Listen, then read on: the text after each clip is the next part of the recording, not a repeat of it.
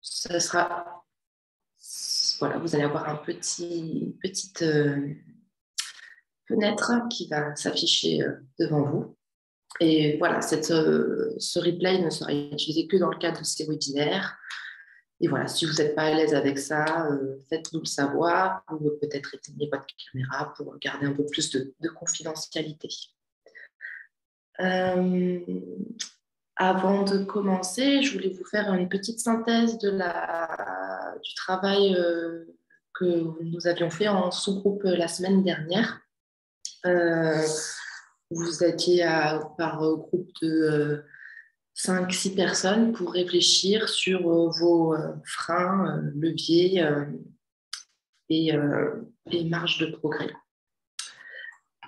conditions de réussite. Euh, donc nous, on a regardé un peu, un peu tout ce que vous nous aviez, euh, tout ce que vous aviez produit en, petits groupes. Et euh, au niveau des leviers et des marges de progrès, je vais commencer par les freins. Au niveau des freins et réticences, il y avait une petite appréhension par rapport au fait de la posture qu'on peut avoir en tant que professionnel du tourisme vis-à-vis -vis de la clientèle, d'être un peu perçu comme moralisateur et justement pour euh, cette acceptabilité de la clientèle, de ne pas lui mettre devant le, fait accompli. Donc ça, c'est euh, une histoire de posture à avoir et tout ça, on va le voir, c'est que de la communication et le choix des mots qui est très important et de comment on amène les choses, mais, mais c'est tout à fait une crainte, une crainte normale. Euh, ce qui ressortait aussi pas mal, c'était le fait qu'il manquait parfois des infrastructures et des équipements euh, extérieurs qui sont inhérents à votre, euh, qui, ne dépendent pas directement de vos activités, mais qui sont sur le territoire et qui peuvent freiner à une transition, notamment en termes de mobilité. Et aussi, ce, qui est, pas mal revenu, c'est le fait qu'il manquait des moyens humains, des compétences techniques, notamment sur euh, les aides qui existent, etc. Mais au niveau des leviers, donc voilà, je vais en citer trois à chaque fois pour ne pas, perdre trop de temps là-dessus et vous aurez le détail euh, à l'issue de, cette session. au niveau des leviers, ce qui est pas mal revenu, c'est en termes de, des efforts qu'on peut demander, qu'on peut faire pour réduire les consommations énergétiques et les consommations d'eau. Euh, tout ce qui est en lien avec la sensibilisation justement et l'information de la clientèle, leur expliquer euh, pourquoi vous avez mis en place des toilettes sèches, euh, pourquoi le Wi-Fi se coupe automatiquement à, 23 heures, par exemple. Et le levier aussi, c'est de proposer en fait de nouvelles activités qui soient plus en, en cohérence avec la transition donc là, euh, Olivier de Arpentage nous avait euh, parlé des refuges sentinelles, le tourisme, cette expérience de, tourisme scientifique. Mais aussi, des animations qui peuvent être mises en place, des sentiers d'interprétation. Euh, je crois que c'est...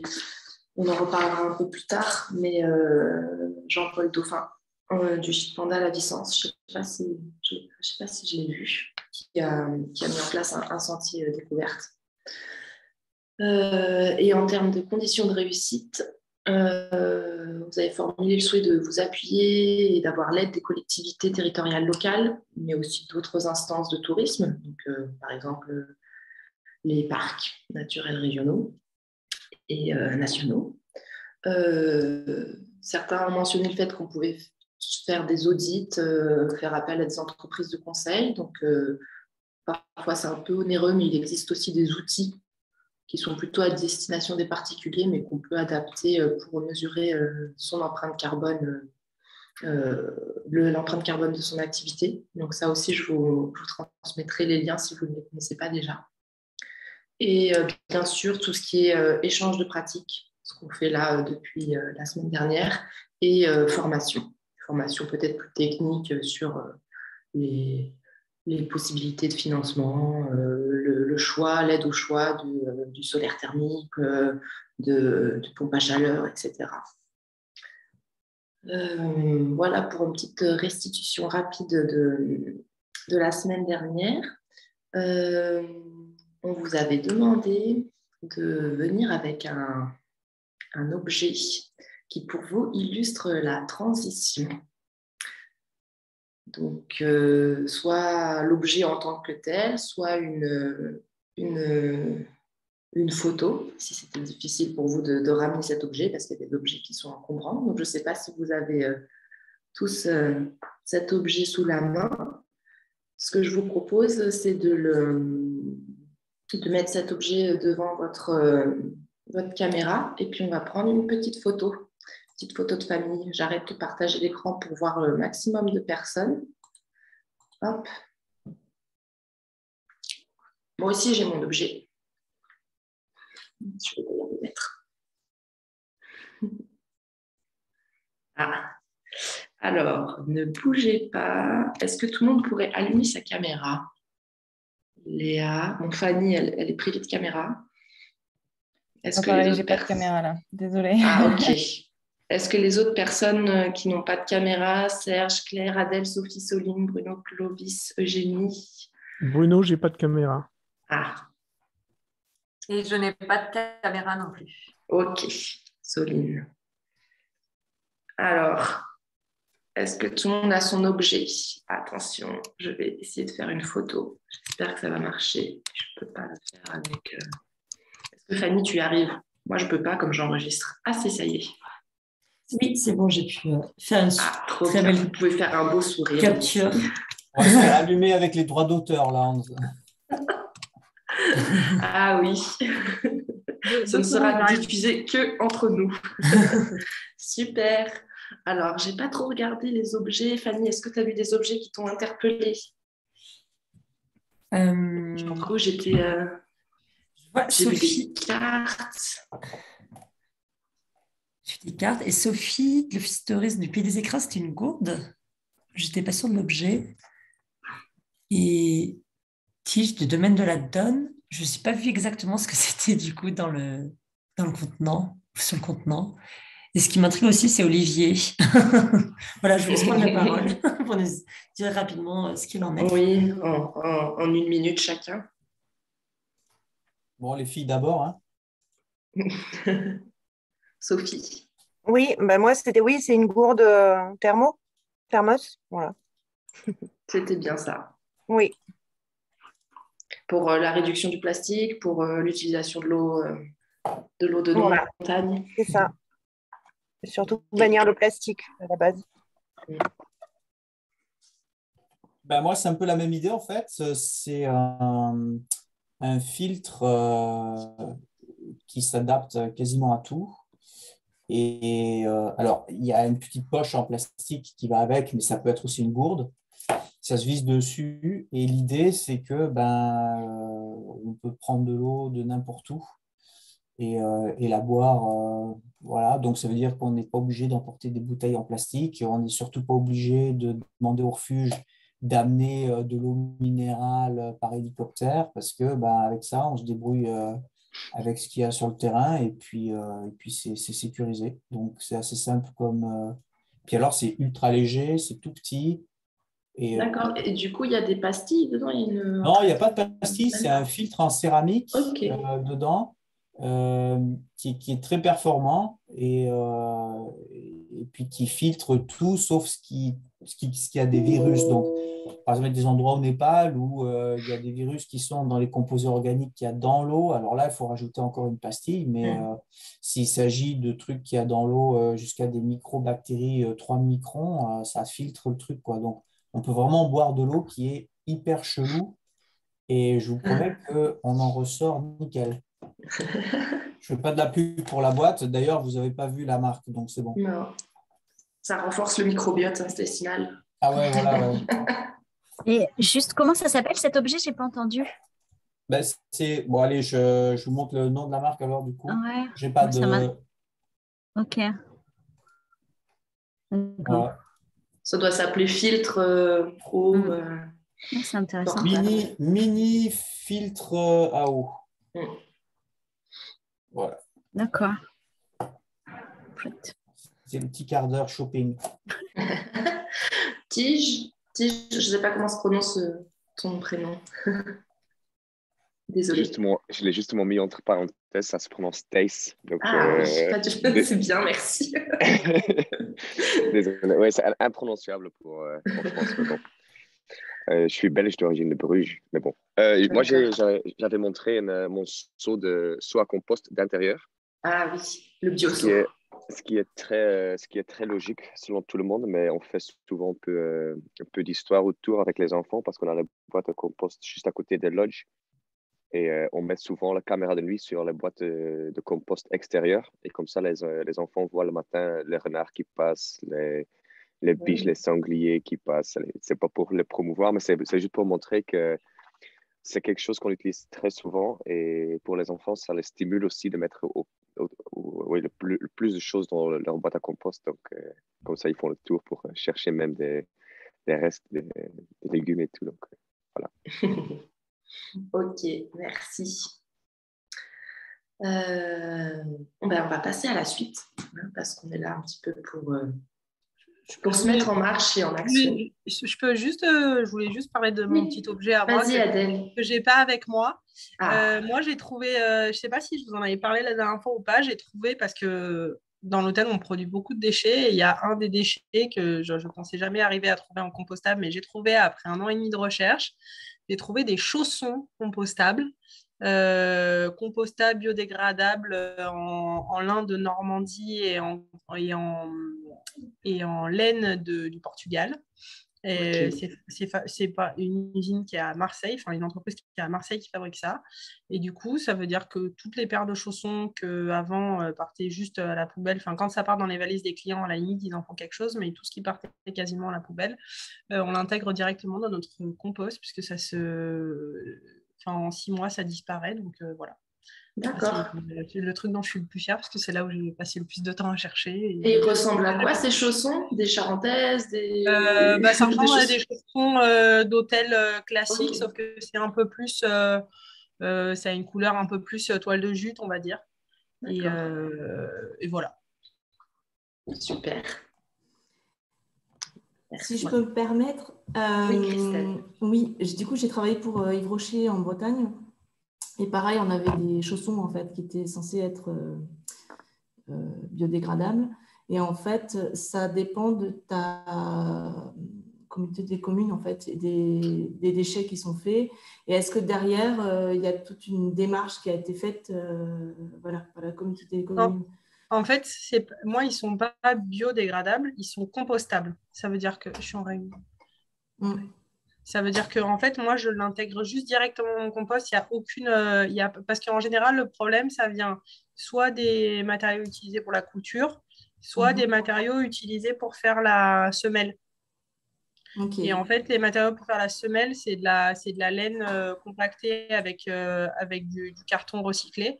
Donc, en Mhm. fait, je, peux- je peux tout mettre directement dans le compost parce que justement, au début, j'avais trouvé des trucs que, bio, que biodégradables. Et en fait, ou, c'est, ou alors, c'était compost. Même cette marque-là, il y a, il y a euh, huit mois en arrière, la seule chose qu'ils me proposaient, c'était compostable, mais uniquement dans des, gros- des composts euh, en gros industriels. De certaines en fait, conditions. Et en Mhm. fait, là maintenant, je peux vraiment, enfin, on a, ça y est, là, hein, tu vois, on a, on a fini la saison, on l'a intégré dans le compost et, euh, et, euh, et là, on va, on va retourner notre compost encore et normalement, ils auront euh, disparu et seront intégrés euh, pleinement à notre compost. Ça. Merci. Merci Adèle, si, euh, si vous pouvez partager euh, la marque, le lien pour, Ouais. euh, pour ces chaussons dans le dans l'onglet discussion, c'est c'est super. Je crois qu'il y a, Ouais, y a des personnes qui seraient intéressées et curieuses. Euh, donc, comme je vous le disais, je vous propose de passer euh, à la suite, de passer à l'action. Euh, donc, on va travailler, en fait, là, l'idée, c'est de formuler euh, tous ensemble des actions euh, en les classant par thématiques, les mêmes thématiques que vous avez eues euh, pour euh, les devoirs de vacances. Euh, que vous ayez fait ou pas, c'est pas grave. Vous pouvez vous appuyer sur, euh, sur vos réflexions ou sur, euh, ou, sur les, ou sur ce que vous avez fait. Euh, avant de vous partager, on va vous partager un lien sur, euh, le, donc dans l'onglet discussion, mais avant ça, je, Fanny va vous faire une petite démo euh, de comment ça fonctionne. Est-ce que vous voyez bien tous mon écran avec le, le fameux euh, board Klaxoon? Oui. Oui, ok. Donc en gros, vous allez avoir accès à, ce, à ce tableau. Et donc euh, l'idée là, c'est par thématique. Vous commencez par celle qui, qui vous appelle. Euh, c'est de zoomer dessus. Donc Fanny, tu peux peut-être avec votre, votre souris. Tu, excuse-moi Célia, tu fais pas du coup un partage d'écran avec la page internet ouverte pour qu'on puisse montrer Si, c'est la page ah. internet ouverte là. Je ne sais pas ce que tu vois. Là, euh, excuse-moi, là, c'est le support de présentation. Ah, ok. Alors, il faut que je change d'écran de partage. Ah oui, on ne le voyait pas, excuse-moi. C'était pour ça. Alors, si je change d'écran de partage. Oui, c'était resté sur le PowerPoint, en effet, en fait. Ah, ok. Un, changement quand oui, il y a le partage. Ah, fait. Merci Fanny, le conseiller technique. c'est mon assistant technique. Euh, donc, vous allez avoir cette page qui va s'afficher. Donc, l'idée, c'est de zoomer sur une des thématiques et de rajouter des post-it euh, en cliquant sur le plus que vous voyez au milieu de votre, de votre page qui est, qui est là. Donc, euh, est-ce que tu le fais, Fanny, ou je le fais? Euh, en fait, je suis en train de réaliser, il faut que tu le fasses, parce que vu que c'est ton partage d'écran, moi, si je crée le post-it, en fait, on ne va pas le voir euh, du fait que c'est depuis Allez. mon ordi. Du coup, plus, euh, vous avez un, petit post-it qui, qui s'affiche. Vous pouvez écrire votre idée. Donc là, on est dans la mobilité. Donc, hop,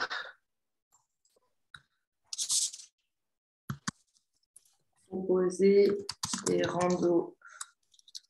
Allez, proposer euh, le ravitaillement euh, du refuge avec des ânes. On va le faire. Euh, et puis, vous pouvez sélectionner en bas à droite la catégorie. Mais bon, vous n'êtes pas obligé. Euh, et puis euh, cliquez sur envoyer. Et votre post-it va se mettre directement là où vous étiez. Il y a un nouveau post-it qui s'ouvre, vous pouvez fermer, et on peut euh, zoomer, dézoomer, prendre les post-it, les mettre un peu plus grands, etc. Donc, ce qui va se passer, c'est qu'on va être plusieurs à travailler sur ce, sur ce board. Et du coup, ben, normalement, il va y avoir plein de post-it, une pluie de post-it ou un nuage qui va apparaître. Euh, est-ce que c'est clair pour tout le monde? Là, l'idée, c'est de formuler des actions. On n'est plus dans euh, qu'est-ce qui, qui, me bloque, euh, qu'est-ce que je constate actuellement? C'est voilà, proposer des actions que vous mettez en place ou pas d'ailleurs, que vous aimeriez mettre en place. C'est aussi intéressant de, se projeter et de dire bah, j'aimerais faire ça et, peut-être euh, que ça peut donner aussi des idées euh, aux autres. Est-ce que c'est clair pour vous? Euh, Du coup, Fanny, je te propose de mettre le lien dans le, dans le, dans le chat. Et vous allez avoir une boîte de dialogue qui va ouvrir. Il va falloir vous connecter au klaxon. Donc, vous mettez un pseudonyme, votre nom, prénom. Euh, il va falloir accepter les conditions générales et ensuite euh, vous pourrez rejoindre le board en cliquant sur euh, continuer.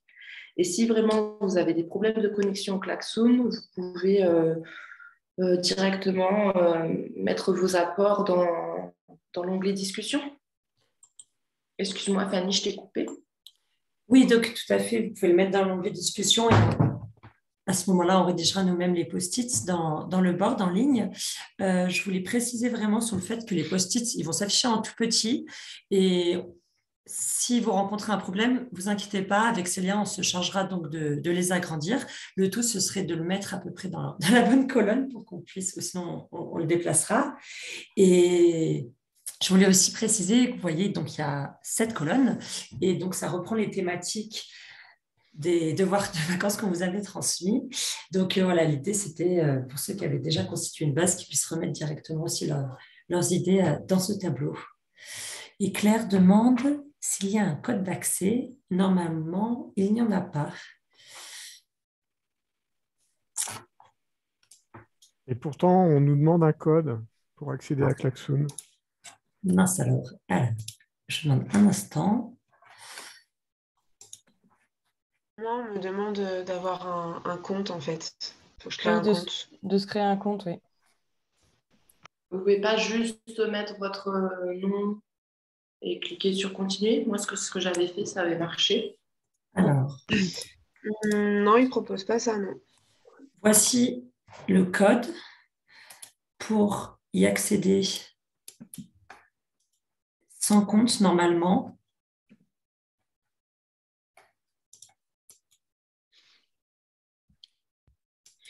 C'est étrange parce que nous, on avait.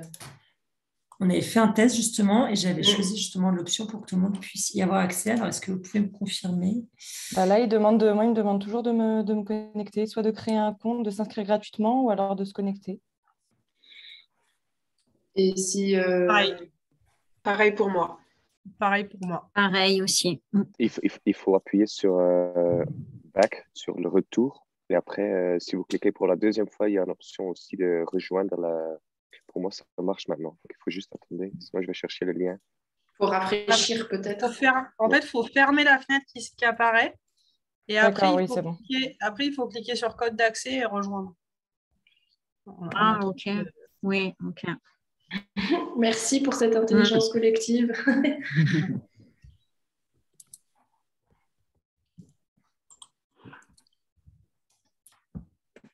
Est-ce que c'est bon? Oui, comme ça, ça. Euh, non, pour moi, c'est pas bon. Alors, je reclique sur le lien. Hop. Bon. euh, Les personnes Donc, qui sont vous. connectées, vous pouvez commencer à, à mettre vos idées. Et les personnes qui ont des problèmes, euh, peut-être manifestez-vous auprès de Fanny, qui peut peut-être essayer de, de vous aider.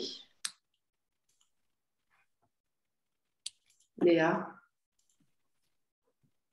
Euh, ouais, ouais, bah moi en fait j'ai le. Il y a marqué vous quittez Zoom, donc euh, cliquez sur continuer pour continuer avec le lien ci-dessous. Donc je fais procéder et le... il y a encore ce truc connexion, email, mot de passe, se Ouais, mais ferme-le, ça. Appuie sur Bah, la croix là je le ferme. Là j'ai fermé la petite fenêtre et il y a marqué vous quittez Zoom encore une fois. Eh ben, prends le, prends le, copie le lien que- qu'elle t'a donné et ouvre dans une nouvelle page. Ah ouais, je vais voir. Ah oui, parce que tu peut-être qu'il ne faut pas fermer toute la- toutes les pages internet, sinon effectivement euh, tu quittes la. Euh, la là j'ai copié sur une autre page et pareil, j'ai encore euh, connexion, email, mot de passe.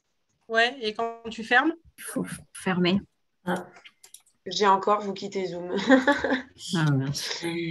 Bah Euh, je te propose de. Si, si je, si je peux me permettre, normalement, quand tu as la, pa- la, la fenêtre de connexion et te demande de créer un compte et tout ça, et regarde vraiment tout en bas, en bleu, c'est marqué se connecter sans compte. Moi, j'ai cliqué dessus et après, ça m'a proposé la fenêtre de connexion à, euh, je ne sais pas comment ça s'appelle, le, le logiciel. là. Extune. Euh, moi, j'ai connexion simplifiée, connexion entreprise, pas de compte, s'inscrire gratuitement. Et tout en bas, j'ai augmenté les contrastes. J'ai pas du tout de bleu en bas, en fait. Bon, euh, t'as pas, ouais, t'as rien qui te dit euh, continuer sans se, sans se, sans Non, s'inscrire, quoi. non, non, non. non. Parce que Léa, moi j'étais comme toi, et en fait, euh, là, quand j'avais ça, j'ai juste fait la toute petite croix euh, noire là, euh, en haut, juste euh, pas, pas la, la croix de l'onglet, la, la croix du, de la fenêtre, pas de la petite fenêtre, et ça m'a automatiquement Ouais. mis sur un truc avec code d'accès et euh, rejoindre. Et oui, mais moi, quand je fais la petite Ça fait Zoom. croix, ça me met euh, Zoom. euh, vous quittez Zoom, cliquez sur continuer. Ce que je Donc, c'est ce que propose. Léa, c'est que vous, vous nous dites vos actions dans le chatter. On ne perd pas trop de temps Ouais, là-dessus. Ouais, désolé. Pas de souci. C'est peut-être, ça doit peut-être dépendre du moteur euh, texte de, de recherche. Je ne sais pas. Ouais, je sais pas. Combien de personnes n'ont pas accès euh, actuellement dans le, au board? Il y a Léa, est-ce qu'il y a d'autres personnes? Vous pouvez soit lever la main avec les émoticônes ou me le dire dans la discussion, comme ça je vois avec vous et après vous pouvez directement me. Visiblement, dans le chat, il est noté qu'il y a un nombre euh, maximum de participants qui peuvent se connecter. Donc, il y en a qui ne peuvent pas à cause de ça. Ouais. Moi, je peux me déconnecter. Je m'étais connectée, mais je ne vais pas forcément. euh, je ne sais pas si je peux me déconnecter pour laisser la place à quelqu'un. Du coup, c'est Laure. Euh, Peut-être, mais oui. Je vais essayer de me déconnecter aussi. S'il faut, ça peut peut-être enlever aussi une place. Moi, je viens, de me, je viens de me déconnecter également. Moi, je ne sais pas trop comment on se déconnecte, par contre. hein, J'avoue que... Oui, je pense qu'il faut juste sortir de. Oui, Ouais. il faut juste fermer le- le- l'onglet de ta fenêtre. Du coup, vous voyez, euh, vous voyez les réponses avec mon, mon partage d'écran. Les personnes qui se déconnectent. Voilà, donc ceux qui n'ont pas accès peuvent suivre voilà, dans le partage d'écran. Et Voilà, moi, je viens de me déconnecter aussi. si Super, merci beaucoup. Ouais. Également. merci. C'est assez surprenant parce que Fanny avait suivi une formation justement, il n'y avait pas de limitation. Les aléas du direct. Ouais, c'est ça. Je pense que Fanny, c'est toi qui peux modifier les. mettre les, les post-it au bon endroit. Oui, un instant, excusez-moi, c'est que j'essaie de regarder en même temps les paramètres. J'étais sur plusieurs fronts. Hop, du coup, oui, j'arrive maintenant pour agrandir les post-it. Excusez-moi, j'essaie de regarder cette histoire de nombre de participants. Et voilà.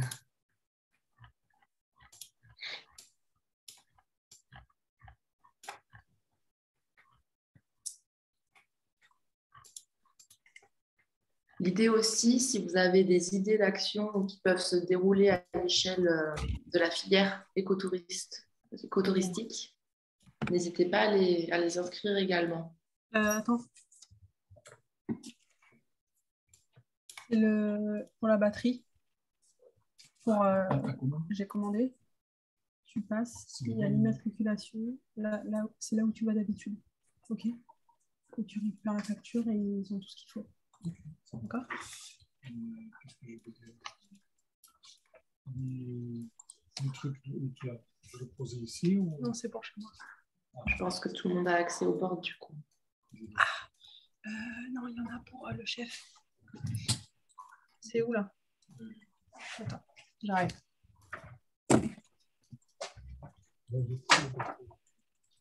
N'hésitez pas aussi à remplir la colonne autre, qui est peut-être moins évidente.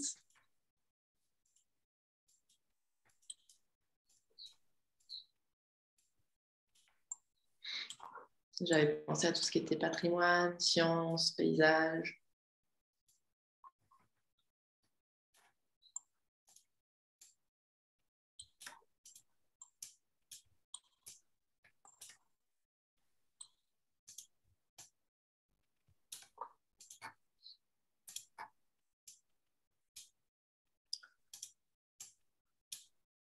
On peut peut-être, euh, je vous laisse encore une minute.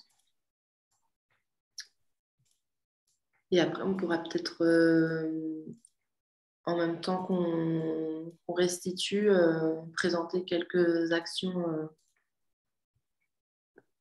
que m'avaient communiqué certains participants en amont de la, du, du webinaire.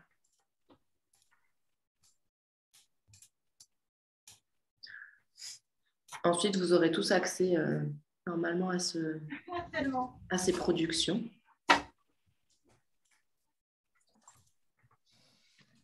On voit que entre euh, alimentation, gaspillage et déchets, c'est vrai qu'il y a, y a des actions transversales. hein. Tout ce qui est compostage, est-ce qu'on le met dans alimentation ou dans déchets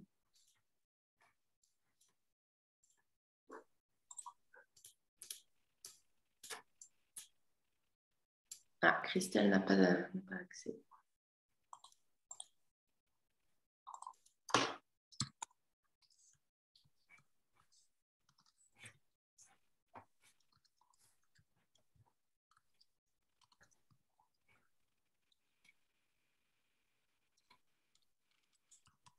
Yes.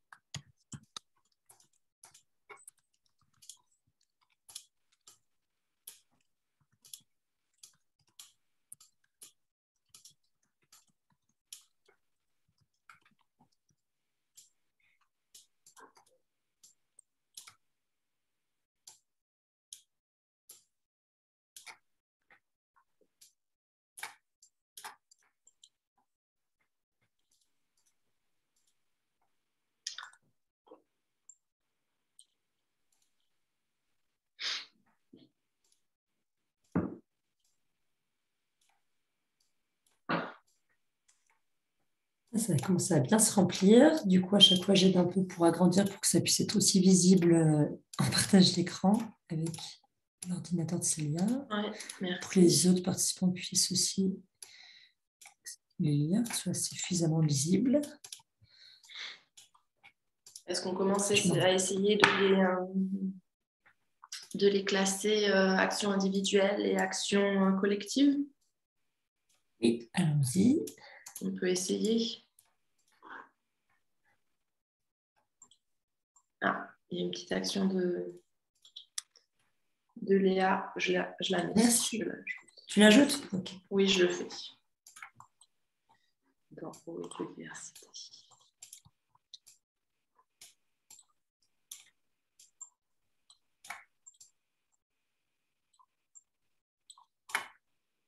Donc, je pense qu'on n'aura pas le temps de tout faire, euh, de toutes les classer euh, maintenant, mais on le fera pour vous euh, à l'issue de cette session.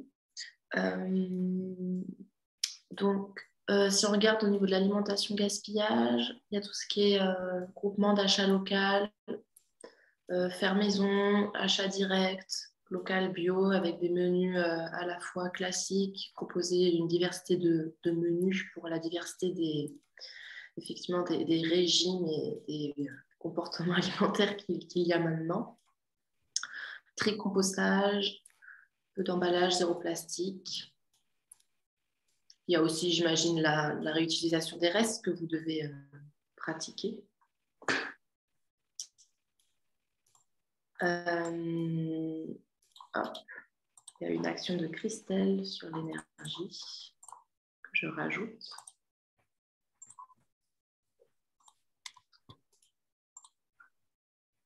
Je mets dans la colonne énergie. D'ailleurs, il y a plus d'actions là-dessus.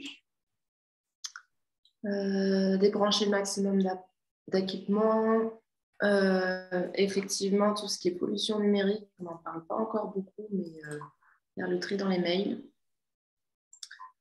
Euh, utilisation responsable d'Internet et de recherche Internet. La programmation du système de chauffage. Quantifier la consommation, effectivement. Avant de faire des actions, c'est bien de savoir combien on consomme. Euh, Faire appel à un fournisseur d'énergie verte, Enercop, été cité par exemple. Des granulés euh, locaux, des économiseurs, des économiseurs d'eau, éteindre tous les appareils en fin de journée. Donc, c'est plutôt des actions aussi euh, également à l'échelle individuelle. Au niveau de l'eau et de la biodiversité, les refuges à faune, les refuges LPO, qui sont cités plusieurs fois, zéro pesticides, verger maraîcher, fauchage, une fois par an. La mise en place de pommeaux de douche qui s'allument lorsque le temps de douche a consommé 40 litres. Ah, c'est sympa ça. Je ne connaissais pas. Planter des fleurs effectivement adapté aux pollinisateurs locaux. Je mets en même temps, du coup, ça. C'est pas dans l'énergie, ça. C'est dans eau et biodiversité. Adoucir euh, l'eau de la source avec de l'aragonite au lieu du sel. Ah, alors, qui a mis ce post-it? Je ne connais pas cette euh, technique. C'est moi. Euh, pardon. Est-ce que vous voulez nous en dire plus? Oui, c'est un, système qui travaille. euh, donc, on a la source à un kilomètre d'ici. Donc, chaque jour, je dois, je dois aller dans la montagne. Et la seule moyen, moyen d'adoucir l'eau, c'était normalement avec le sel. Et après, on a trouvé un système euh, qui travaille avec donc, euh, un système de magnétisme qui ajoute de lithium dans, dans l'eau, sans ajouter quelque chose dans l'eau, qui fait que la- le, le calcaire est cassé. Donc, ça veut dire que ça ne se coince plus dans le tuyau, ça ne se coince plus dans les machines. Donc, euh, juste avant notre lampe UV qui filtre l'eau, tout est automatisé maintenant. Et ça évite d'ajouter de l'eau dans, dans la nature, dans l'eau déjà. Voilà. Ok, super. Donc l'aragonite, c'est un, un minéral. C'est ça, qui est présent dans, dans la nature euh, d'habitude, sauf dans les zones où il y a énormément de calcaire, comme ici dans les, dans les montagnes. Ok. Et bien du coup, Thaïs, tant que, que tu as la parole, euh, tu m'avais fait part de nombreuses euh, actions euh, que, que vous meniez sur vos, vos, lodges en termes de sensibilisation aux éco-gestes. Est-ce que tu veux les présenter brièvement? Oui, c'est souvent des, des, petites actions, par exemple des carreaux démaquillants lavables, des shampoings et des gels douche en vrac, des gourdes à l'arrivée, ou quand les gens se promènent dans les montagnes, on, on est dans des gourdes on a prévu des points d'eau aussi euh, pendant la randonnée euh, liés à la source directe. On donne des lampes solaires dans, chaque, dans, lodge et dans chaque gîte, comme ça les gens se promènent pas avec leur euh, lampe de, de, téléphone partout. et on a des notes dans les chambres qui informent les clients que même si l'eau de la source est illimitée, selon beaucoup de gens, on doit quand même faire attention qu'on ne gaspille pas. Mm. donc ça, c'est un peu les, les, actions, mais on a on a un peu, un peu de tout. Donc aussi avec les, les boîtes de compost, avec euh, le potager qu'on a mis en place, beaucoup d'actions. On fait aussi des séminaires de distillerie avec les enfants. On met des, des herbes à côté de barbecue pour, euh, pour, pour, apprendre aux gens que ce pas tous des herbes qui viennent de, dans une petite boîte. Désolé mhm. pour le bruit derrière, je suis en train de faire des travaux. Euh, voilà. N'hésitez pas à me poser des questions comme ça. Ouais. Je réponds avec plaisir. Merci Thaïs. Euh, j'avais aussi envie de faire intervenir euh, Stéphane par rapport à, son projet de plantation d'arbres à vélo. Est-ce que euh, Stéphane, tu es OK pour, pour nous en dire un tout petit peu plus Activer ton micro.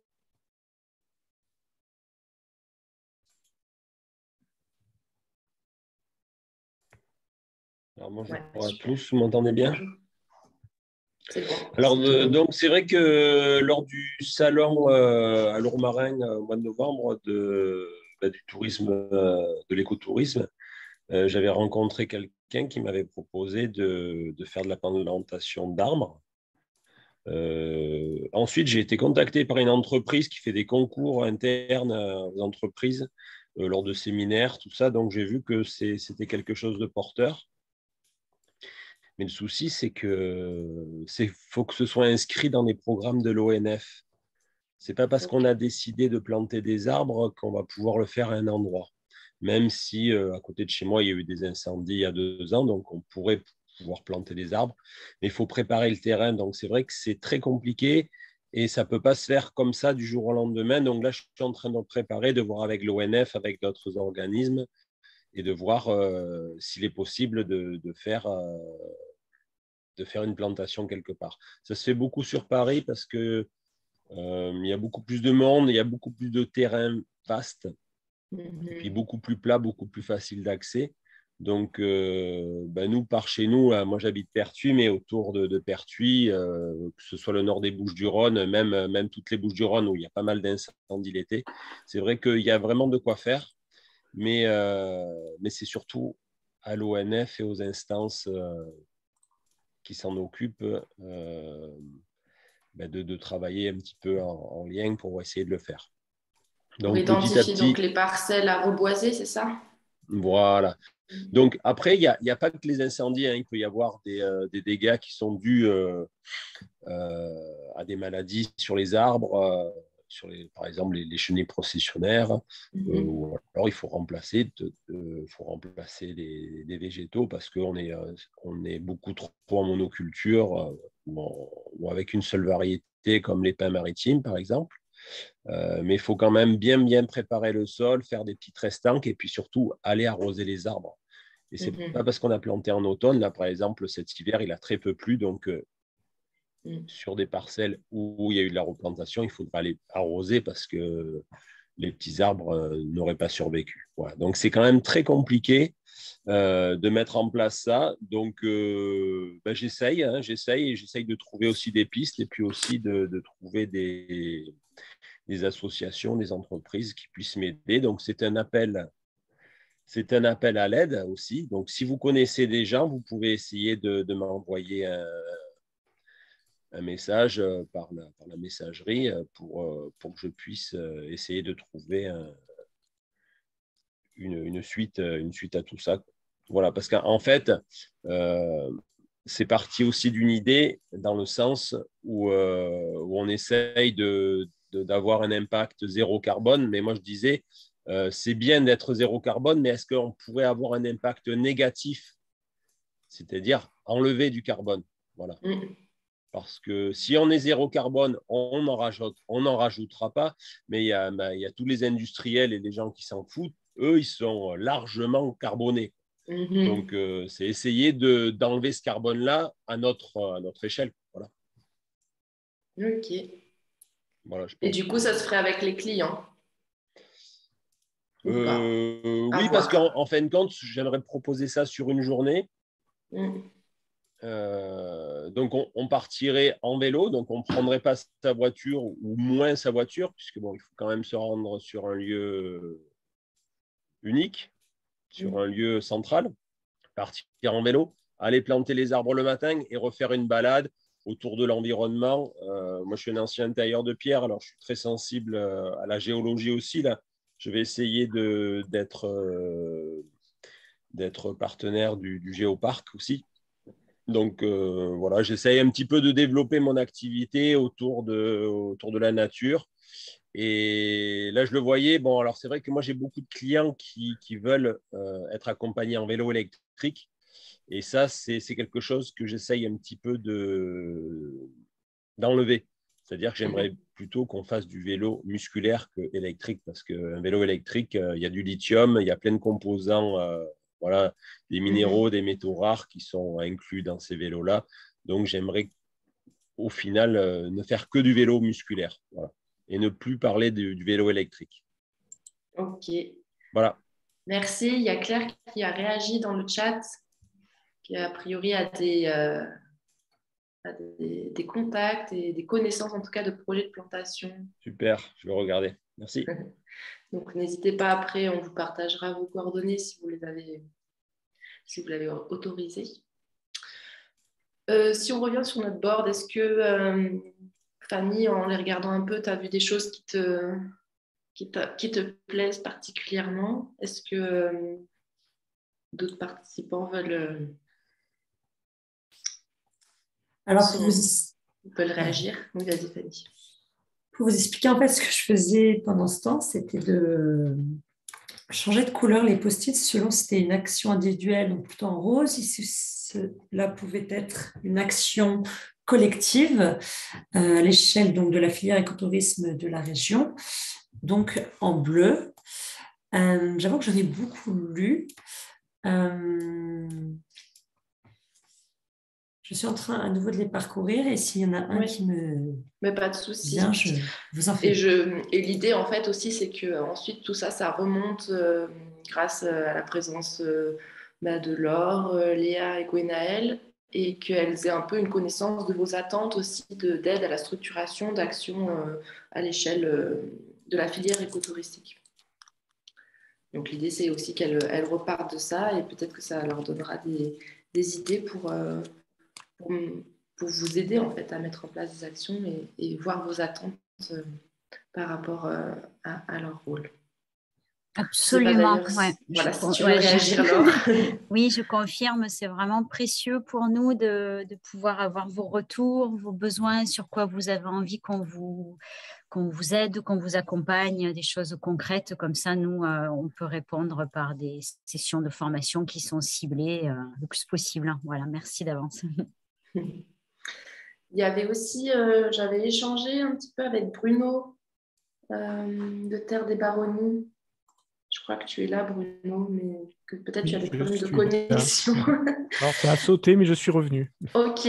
Euh, du coup, tu m'avais parlé de, de fait d'organiser une compensation carbone.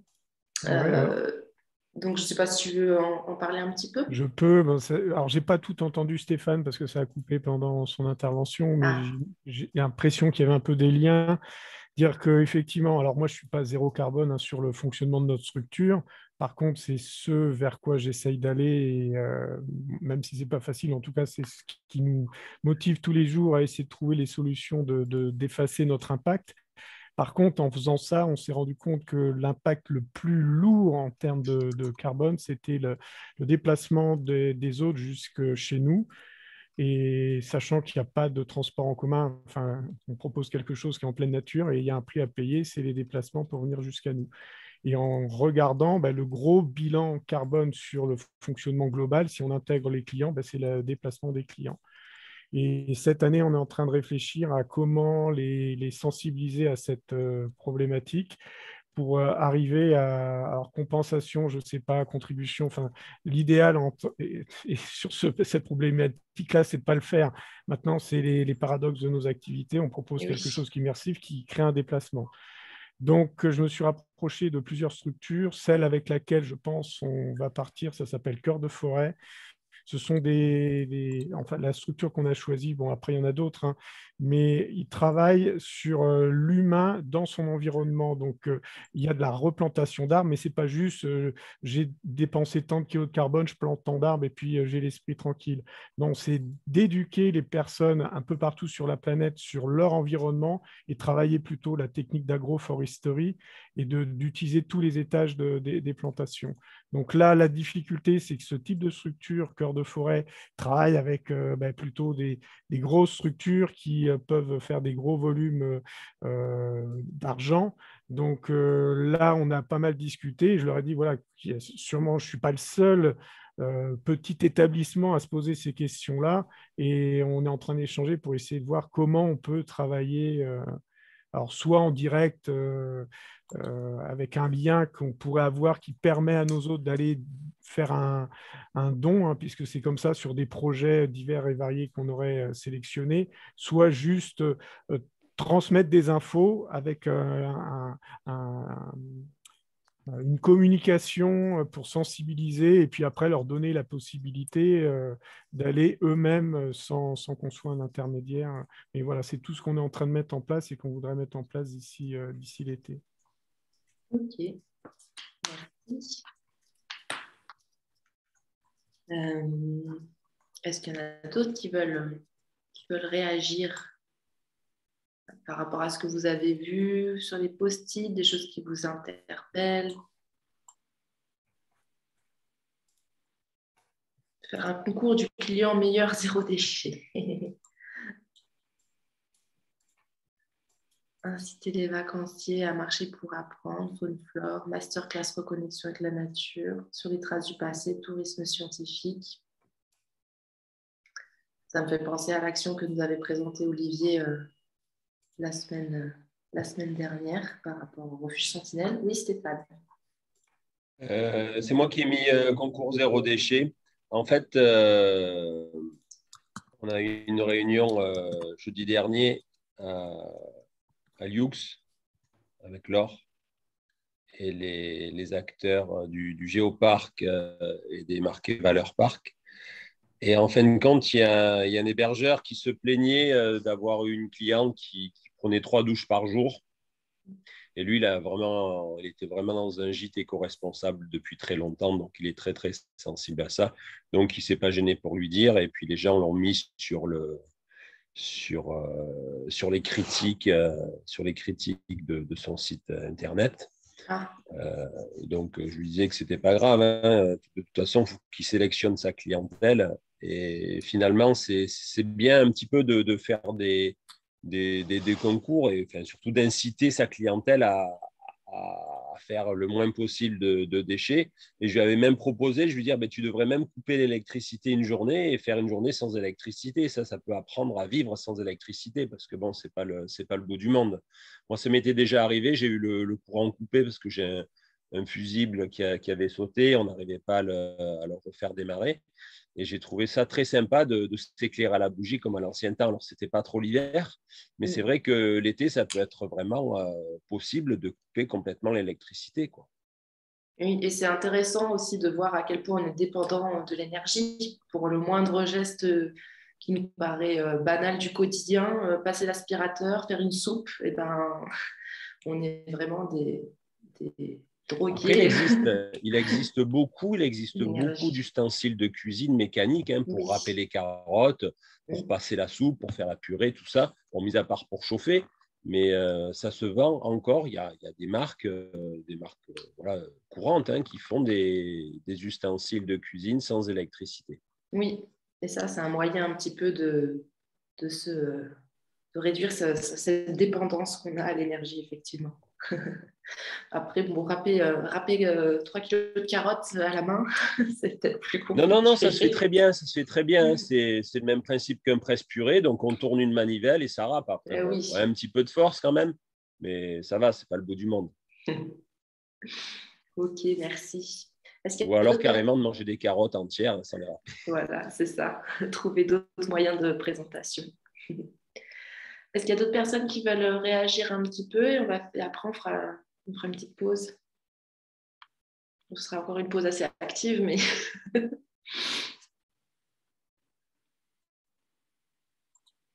euh, j'avais échangé avec euh, Jean-Paul Dauphin, qui n'est pas là aujourd'hui, euh, qui tient un gîte panda et qui me, faisait le partage d'une expérience. Il, il a mis en place en fait un sentier découverte près de son gîte ou sur son gîte, euh, avec euh, le conservatoire euh, d'espaces naturels.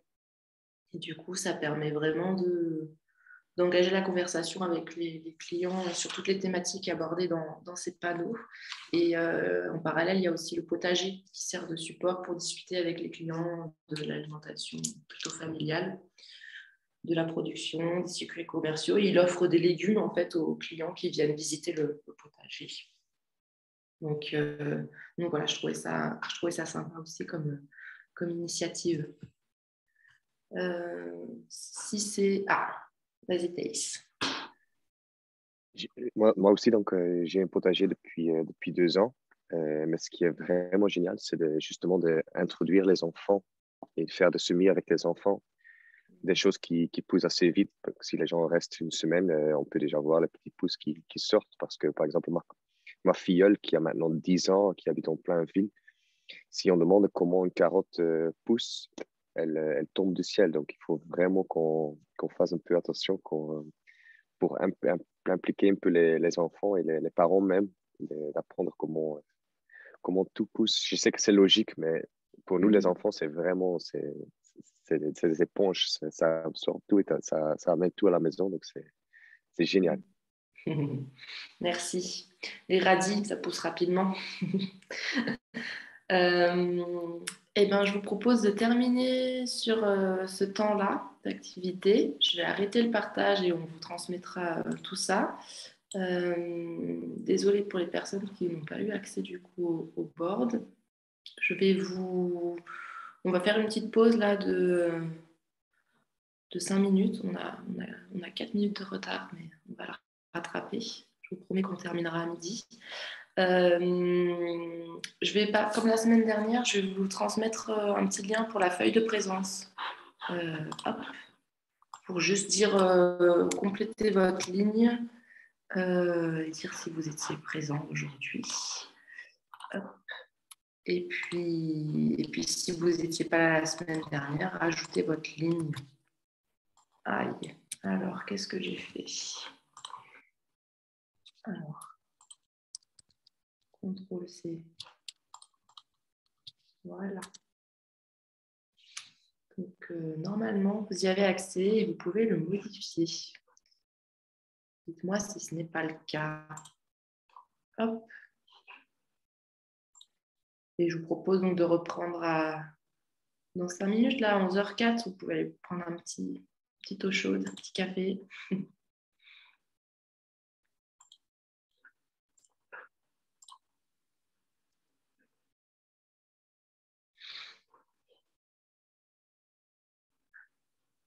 Du coup, remplir cette fameuse feuille juste avec un petit, un petit oui, un petit sur votre ligne. Je vais regarder moi, si ça fonctionne.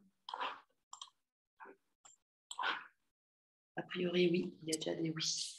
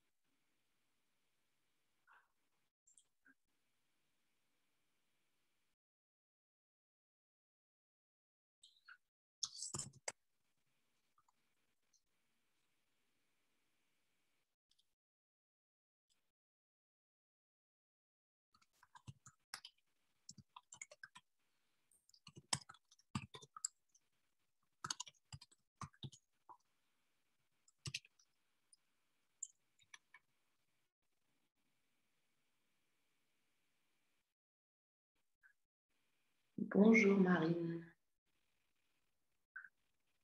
qui nous a rejoint.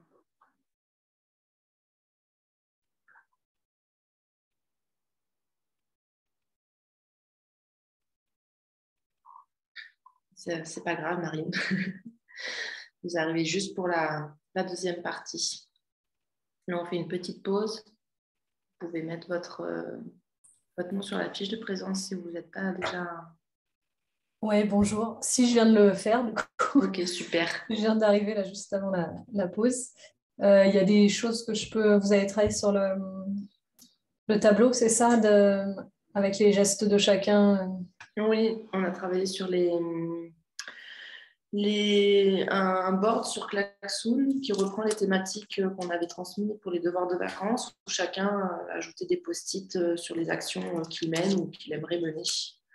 Et donc, dans l'idée de faire, d'avoir un panorama euh, des actions possibles assez, assez large pour qu'ensuite on, vous le partage et que vous puissiez vous en inspirer. Et il y a eu des retours aussi d'expériences, de, d'initiatives sympathiques qui avaient été identifiées. D'accord. Et du coup, ça, vous nous l'envoyez après euh, On oui. le lien? On envoie, on, enverra tous ces éléments avec la synthèse. Et du coup, il y aura aussi le replay du, ah du, du, webinaire si, si tu as le courage de regarder la, la première partie. Ok, ça marche. Merci.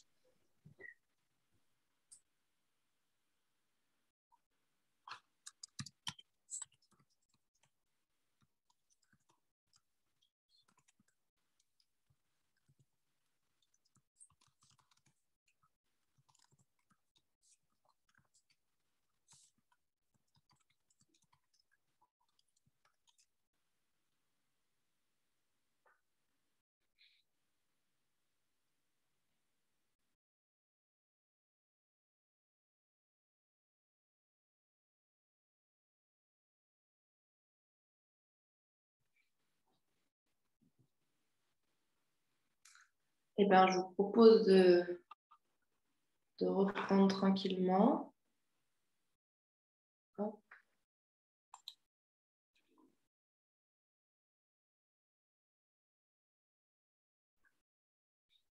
Non, c'est pas grave, Marine.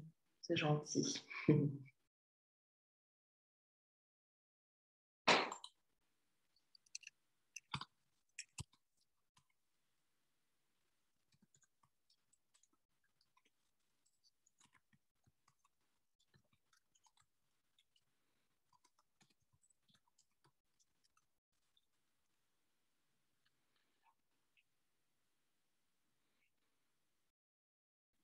Alors, est-ce que tout le monde est revenu?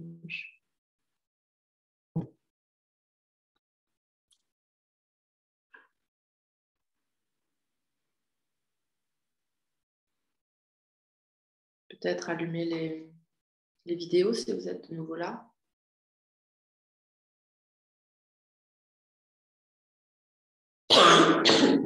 Pardon. Et pour ceux qui n'ont pas de vidéo, le, signaler dans le. Voilà. Pardon, excusez-moi. On va reprendre tranquillement.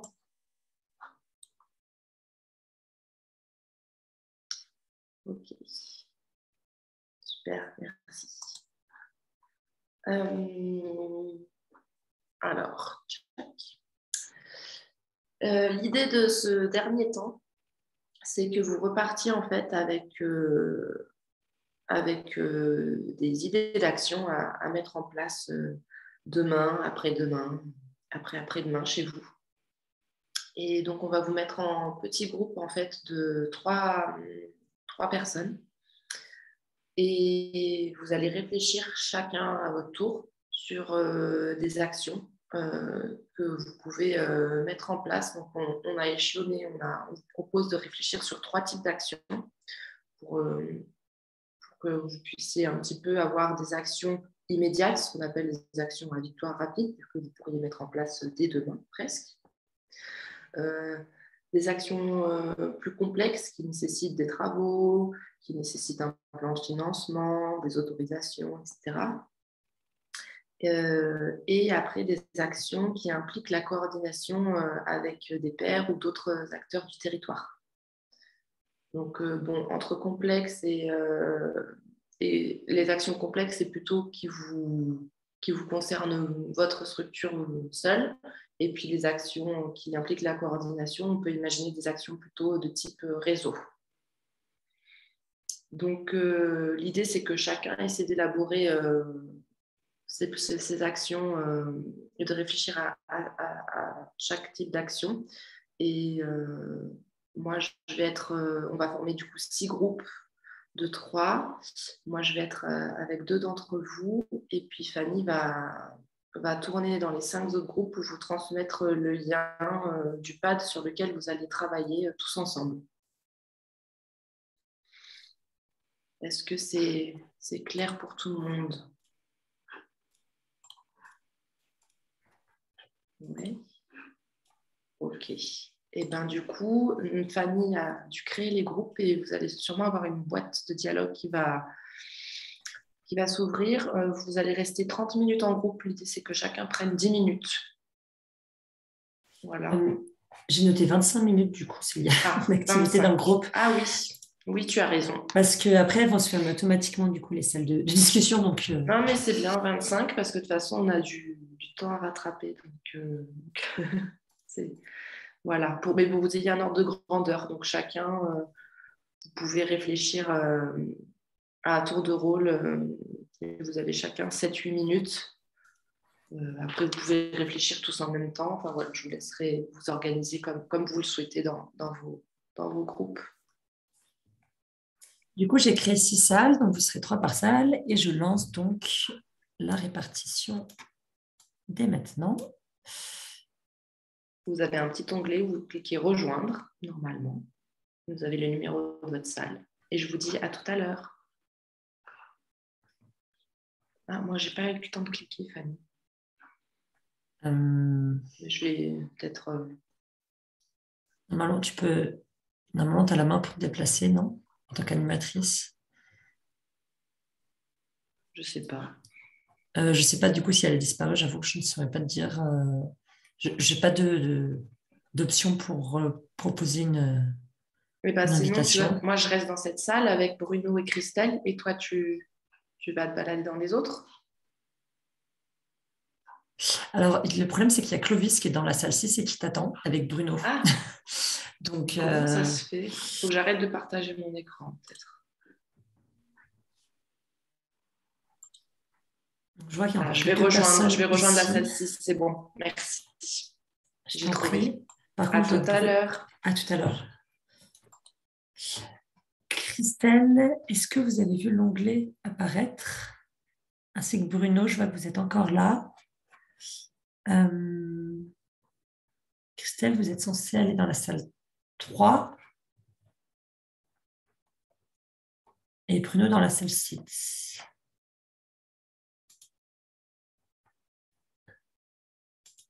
Si vous rencontrez un problème, est-ce que vous pouvez me l'en... Euh, m'en informer dans l'onglet discussion, s'il vous plaît? Ah ben, il, y a il, y a Fanny qui arrive, on est sauvés. Oui, bonjour. Navré, il y avait des personnes qui n'étaient pas encore euh, parties dans les, dans les salles de discussion. Euh, donc, je vous transfère comme convenu le, le lien là dans le fil de discussion. Est-ce que vous pouvez me dire s'il fonctionne, s'il vous plaît?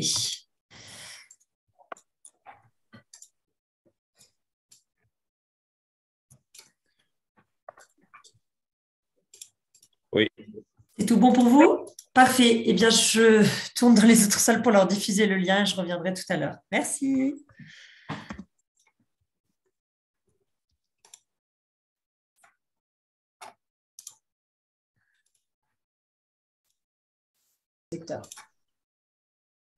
D'accord. Ok. On n'a jamais eu à travailler ensemble alors Non. C'est jamais. Euh, ok. Non, on ne se connaît pas. Et... Eh bien, Claire... Ah ben non, bah, Fanny. Oui, j'arrive, voilà, c'est pour vous transmettre euh, le lien. Donc, je vous le mets dans le fil de discussion. Est-ce que vous pouvez me confirmer qu'il fonctionne bien, s'il vous plaît? Alors. Ouais. Parfait. Je vous quitte pour euh, pouvoir transmettre le lien aux, aux autres groupes et je replacerai tout à l'heure. Merci.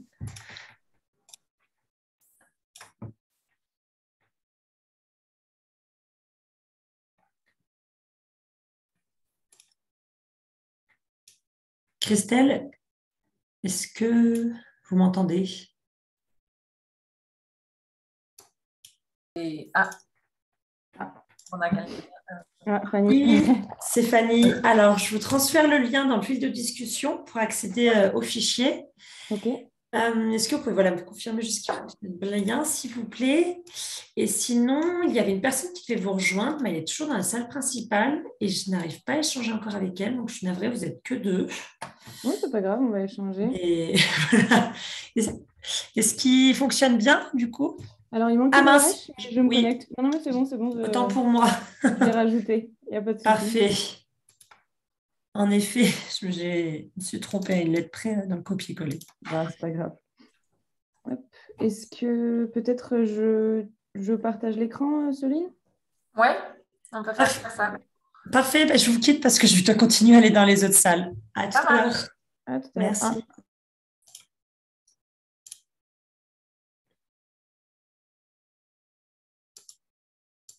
Stéphane aussi euh, euh, tout à l'heure, c'est peut-être pas forcément très durable finalement ces vélos électriques, mais ça pourrait euh, limiter le, le temps et du coup le coût, mais en même temps rajouter du coût aussi parce qu'il y a l'électricité, la batterie. Enfin, je sais pas, hein, c'est euh, ça- c'est ce qui me vient, mais euh, Moi, j'ai pas du tout envie de remettre une, enfin, un moteur et de Ouais. garder l'énergie musculaire. hum, c'est vraiment le principe, quoi, ouais. ouais. Ouais.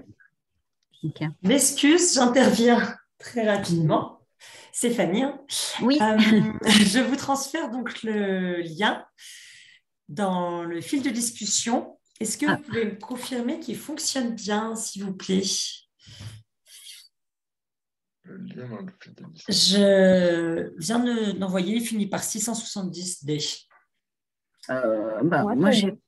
Ouais, moi, je vois plus. Ah, ça y est, ouais, j'avais pas mon écran. Ouais, c'est bon, oui, oui. Ah oui, parce qu'il faut qu'on remplisse un truc en direct, parce qu'on a commencé à parler comme ça, nous, du coup. On a commencé Voilà, à travailler. donc, ouais. voilà, dans l'idéal, voilà, c'est que vous puissiez échanger et ensuite vous pouvez Mm. restituer donc vos idées dans, dans ce tableau euh, en ligne. Ok, d'accord. Je vous laisse donc, parce que je dois encore diffuser un lien dans, dans Oui, une oui, salle. oui. Va vite, va vite. Merci. À tout à Merci, l'heure. Fanny. À tout à l'heure.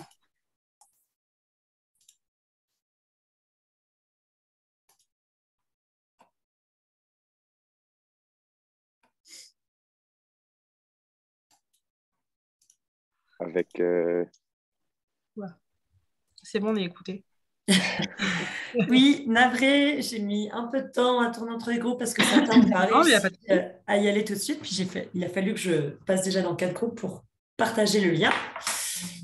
Euh, donc j'envoie le vôtre là dans le fil de, de discussion. Mhm. Est-ce que vous pouvez me confirmer qu'il fonctionne bien, s'il vous plaît? Alors, moi, j'ai mon mini plan d'action. Ouais, ça marche. Ça Moi, ça charge, mais euh, ça va s'ouvrir dans... sous peu. Mm. Parfait. Eh bien, donc je vous laisse voilà, échanger de, de vive voix et puis quand, quand vous le sentez, vous pouvez restituer vos, vos idées dans, dans ce tableau. Euh, ce que je vais faire là, donc il reste 17 minutes, je vais essayer de repasser dans les autres groupes, voir un peu voilà ce qu'il en est, s'il y a des questions.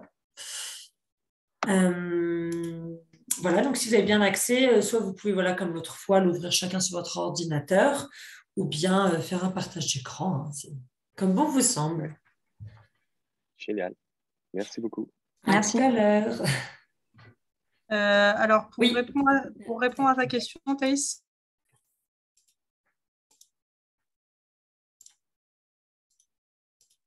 Alors, Bruno, je reviens ici maintenant que j'ai fait le tour de tous les groupes. Je vous envoie un message en discussion.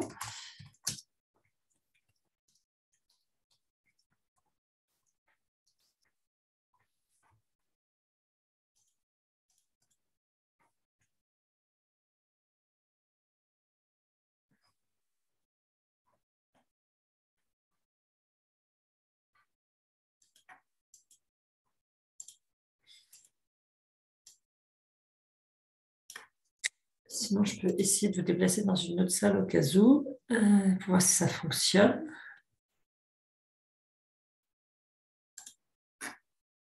Peut-être qu'un nouveau message va s'afficher pour que vous puissiez l'accepter et rejoindre un sous-groupe.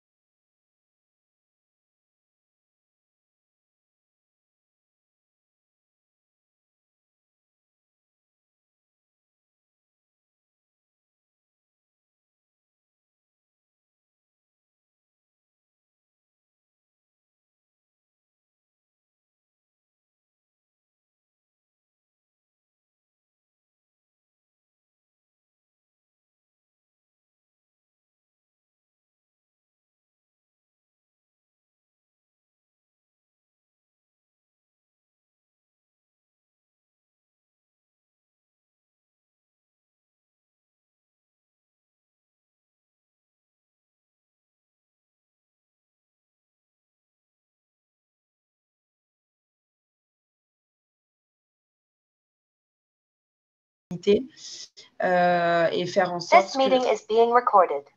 euh, faire en sorte que les clients euh, puissent venir à l'hôtel en, en utilisant le moins possible la voiture, quoi. Oui, en prenant le train, quoi.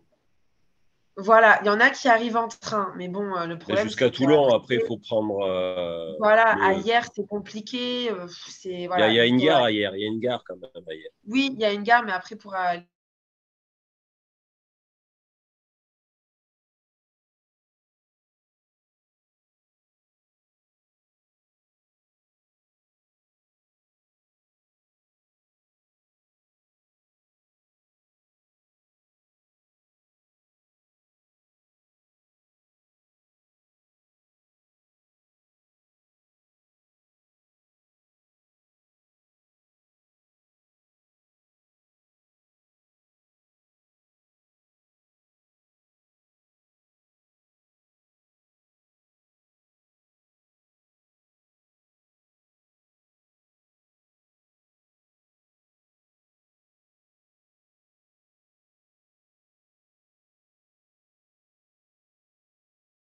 Mais on essaye d'avoir, par exemple, euh, on essaye d'avoir, par exemple, une épicerie locale. Donc, on essaye de. Du coup, ah, ça y est, ça reprend, hein. Le- l'enregistrement reprend. Euh, on a 10 minutes, là, 12 minutes pour faire euh, une petite restitution. Est-ce qu'il y en a qui veulent, on va faire ça à l'oral, hein. on prendra toutes les fiches actions et on vous les enverra aussi de façon anonymée, anonymisée, je ne sais pas quel est le bon terme, euh, de façon anonyme. Et euh, est-ce qu'il y en a qui veulent présenter une, euh, une action tout cas été la plus aboutie ou la plus originale dans leur groupe? On essaie de prendre deux minutes, quoi, trois minutes. Là, c'est assez bref pour que un maximum de personnes puissent s'exprimer. Qui veut prendre la parole Personne Allez, moi je parle. Allez, super, merci Adèle. Euh, parce que je, je voyais que c'était le suspense. Euh, moi, je, alors il y en avait, il y en avait, euh, il y en avait deux qui étaient, enfin, qui étaient particulièrement intéressantes. Donc pour, pour Marion, elle, elle voulait développer parce qu'en fait, ils ont une plage juste devant chez eux. Euh, et en fait, ils- actuellement, ils ont une, euh, une activité PMT, mais ils voulaient vraiment euh, développer une activité euh, plongée. Mais voilà, le problème qu'ils ont aujourd'hui, c'est d'avoir les, les, a- les accréditations, l'agrémentation pour l'association. Donc, Et juste PMT pour les non-initiés? Pardon, pas le masque tuba. Ok, merci. Et euh, voilà, elle, c'était une idée qu'elle avait, mais a priori, euh, ça ça avancera pas à grand-chose. Maintenant, ce qui est intéressant, c'est qu'elle voulait développer ça pour justement euh, que les gens poussent un peu plus l'expérience de simplement pas le masque tuba et qui, qui découvrent vraiment ce qu'il y a devant cette plage qui est attenante à, leur, à leur association. Donc, je pense que c'est super bien pour la sensibilisation de la sensibilisation de mettre vraiment les gens en face des choses. Moi, c'est vrai que c'est quelque chose, par exemple, au Lamboustier, qu'on pourrait peut-être faire avec les clubs de plongée, de dire, bah, regardez, d'un côté, il y a un herbier de Posidonie, voilà la vie que ça a, etc., etc. Et puis de l'autre, il y a la colère pataxifolia qui a tout mangé, et regardez le désert que c'est à côté. Typiquement, c'est des choses, je pense, qui sont, qui sont, qui sont hyper intéressantes. Après, effectivement, euh, est-ce que c'est le rôle de, de son association et est-ce que euh, peut-être simplement que euh, la CPIE ne veut pas prendre euh, cette responsabilité-là non plus, parce que la plongée, c'est quand même une sacrée responsabilité. Et, euh, et concernant Tace, du coup, lui, donc, il veut déposer un maximum de dossiers à l'ADEME pour, pour avancer et être autonome en énergie sur, sur l'ensemble de, de, de son parc, parce qu'actuellement, il, est, il est dépendant en tout cas de la partie électricité.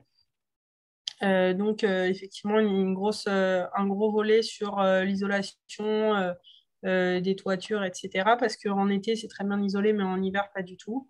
Donc, il va essayer de voir des financements pour l'ADEME, pour l'isolation, des analyses de géothermie, voir s'il peut installer des panneaux solaires sur les pergolas pour avoir, avec des batteries, pour pouvoir alimenter quand même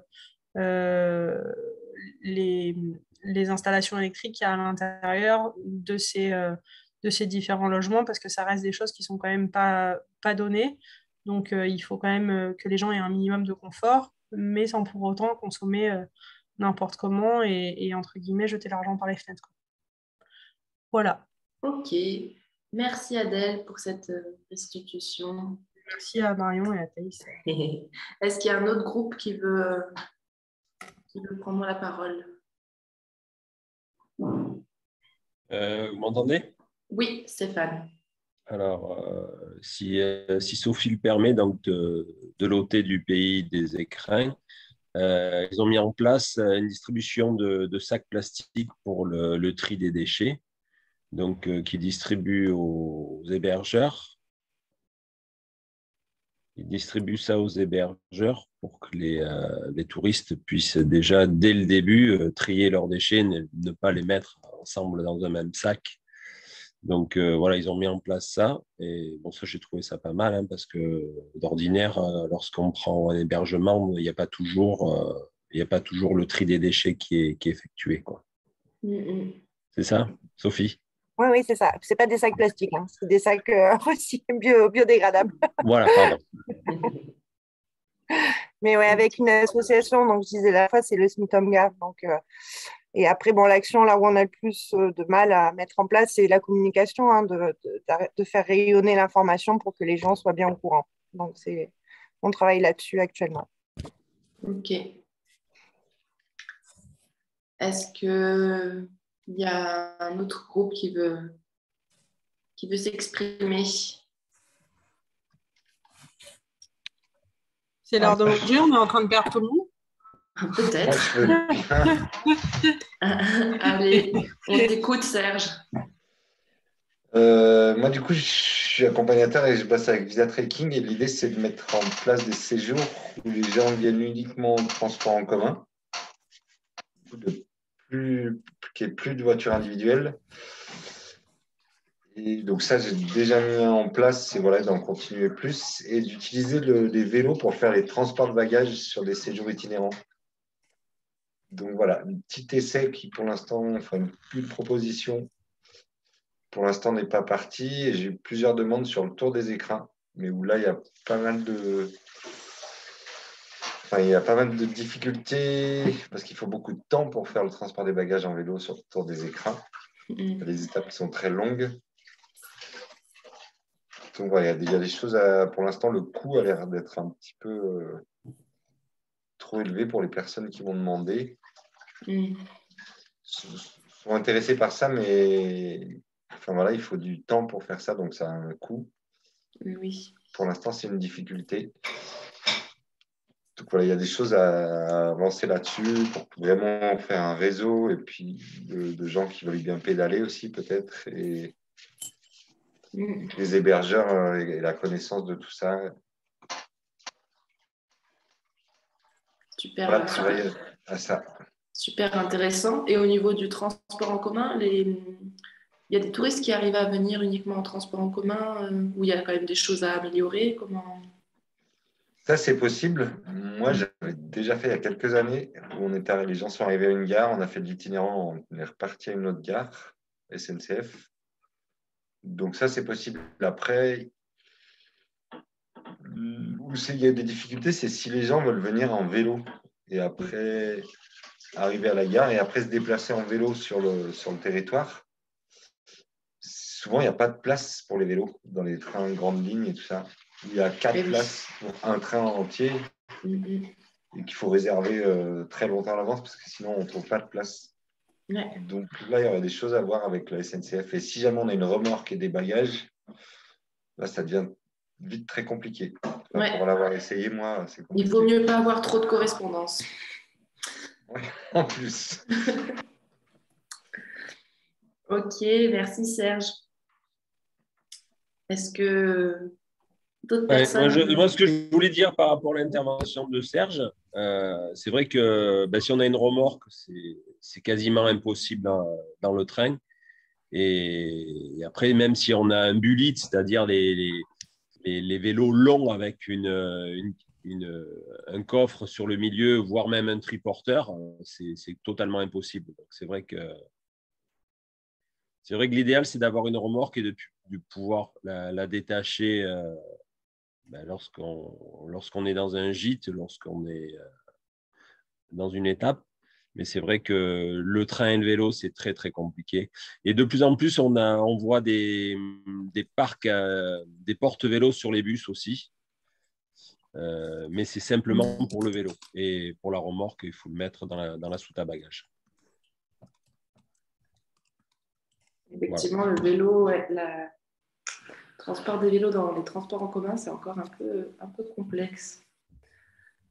Je ne sais pas là-dessus si euh, les parcs, vous travaillez avec la SNCF ou si vous êtes en lien avec eux. Euh. Alors, ouais, ce que je disais, j'étais justement dans l'atelier avec Serge. hein, euh, ouais, cette question du transport en région, elle revient sans arrêt. Alors, malheureusement, nous, les parcs, on ne peut pas agir là-dessus parce que ce n'est pas de notre compétence. La compé- compétence transport, elle est euh, aux mains de la région. Par contre, on essaye d'y travailler effectivement euh, voilà, dans le cadre de la filière écotourisme, contrat de filière écotourisme. euh, de... Mais c'est extrêmement complexe en fait. euh, voilà. Mais en tout cas, Mhm. c'est l'objectif là de euh, d'essayer de faire bouger les choses euh, là-dessus. Voilà. Mm. Une grosse machine. Une grosse machine, ouais, ouais, ouais. Euh, Excusez-moi, est-ce que ce serait pas possible euh, par rapport aux locations de vélo, etc. Parce que enfin, à Porquerolles, il y en a tellement que pour moi, ça me paraît une ligne pied de venir avec son vélo. Euh, Il n'y a pas un, genre un réseau ou un site sur lequel on peut trouver un peu tous les loueurs de vélos qu'il y a euh, en France pour justement euh, euh, favoriser cette, mo- cette, cette, mobilisation, cette mobilité douce, pardon. Et euh, on sort du train, on sait qu'à tel endroit et tel endroit, on va pouvoir euh, louer un vélo sans problème. Quoi. Moi, il n'y a que des locations de vélo ici, donc c'est vrai que pour moi, il y en a partout. Mais après, euh, je suppose que, que dans beaucoup de, de parcs euh, euh, régionaux et nationaux, il doit y avoir, euh, je pense, aux alentours des locations de vélo, non?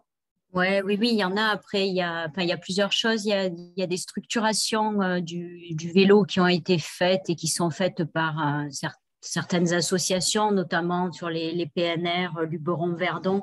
Il y a l'association Vélo Loisirs Provence qui met en réseau justement tous ces, euh, euh, tous partenaires et qui, voilà, qui, qui l'ensemble pour bien identifier les, les, loueurs de vélos parmi ces, ces partenaires-là. Après, il y a pas mal de, de, pôles multimodaux aussi qui ont été mis en place. Ça, ça repose plus sur les communautés de communes, voilà, où à la sortie du train, on peut effectivement avoir euh, d'autres, euh, d'autres déplacements possibles euh, disponibles.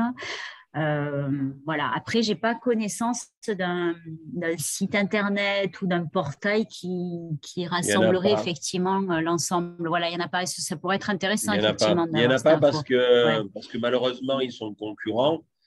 Donc il n'y a mm. personne qui, même Vélo Loisirs Provence, hein, Vélo mm. Loisirs Provence, ils répertorient leurs partenaires. Oui, c'est ce que je disais, ouais. oui, oui, c'est ça. Et les partenaires, ils, ont, ils, payent une petite ouais, Leurs adhérents. je sais que je, suis, je suis adhérent, je paye 200 euros par an.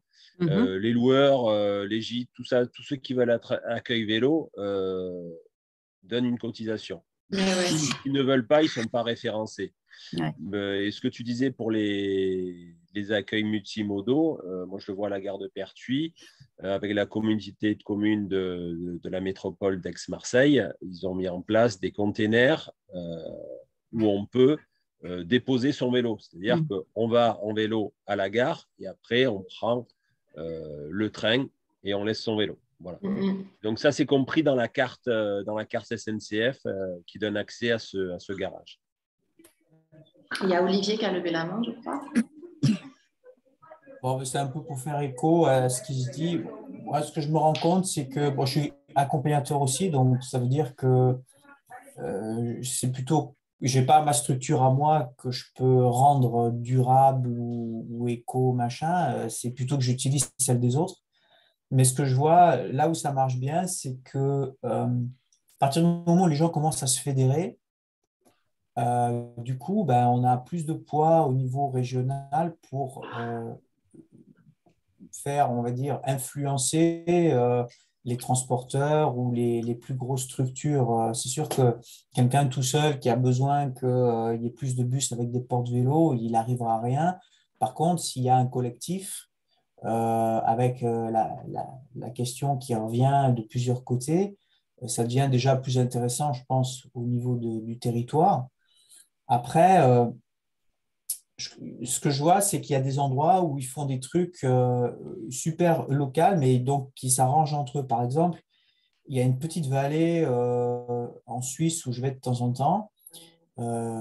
tous les hébergeurs payent une redevance qui est ridicule à leur niveau, mais comme ils sont plusieurs, ça fait quand même un petit, un petit capital. Et avec ça, ils peuvent proposer les transports publics gratuits dans la vallée à tous les gens qui ont euh, euh, réservé euh, dans la structure. Et évidemment, ça nécessite de s'accorder avec les transporteurs de la vallée. Mais tout le monde y trouve son compte, bien entendu. Et ça permet aussi de communiquer sur ben, de l'écotourisme pour la vallée, on va mm-hmm. dire à un niveau plus large. Donc, du coup, après coup, l'Office de tourisme a quand même commencé à, soutenir l'idée. Puis, petit à petit, ça commence à devenir quelque chose qui, qui s'institutionnalise. Quoi. Donc, mm. euh, ça, c'était sympa. un, autre exemple que j'avais vu, que j'avais trouvé sympa, c'était donc, euh, bah, je disais dans mon groupe, là, euh, côté espagnol des Pyrénées, les Picos de Europa. ils ont un système de tampons dans les refuges. Donc, les gens qui font toute une itinérance et qui traversent le massif, quand ils se retrouvent de l'autre côté et qu'ils peuvent présenter aux, transporteurs euh, tous les tampons, eh ben, du coup, ils ont le retour gratuit au parking de la voiture euh, avec le bus. Quoi. Ils passent de toute façon par là, mais sauf qu'eux, ils n'ont pas besoin de payer. Donc, c'est des actions qu'ils ont. Alors là, par contre, pour le coup, je ne sais pas comment ils ont euh, géré le truc et qui finance le bus au, bout du compte. Mais souvent, on, s'aperçoit que quand on est en collectif, ce n'est pas des coûts importants. Et ça permet d'avoir par contre un impact euh, beaucoup plus visible et puis sur une plus grande échelle. Quoi. Donc, je ne sais pas après, après, à notre petit niveau, quel collectif on peut faire, mais euh, euh, c'est vrai que de communiquer comme on fait, puis après, à un moment donné, peut-être d'essayer de voir s'il y a des gens qui sont, qui sont intéressés, bah, monter des petites assos et puis euh, travailler à ce niveau-là. quoi. Merci Olivier. Il est 11h54.